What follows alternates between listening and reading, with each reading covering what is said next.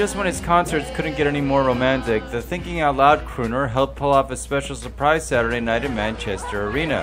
While performing one of his biggest hits, Ed Sheeran invited Jake Roche on stage with his girlfriend Jesy Nelson. The 22 year old wrote on Instagram while proposing on one knee A year ago today, I met her at Manchester Arena, so it was only right with a little help from my friend that this happened.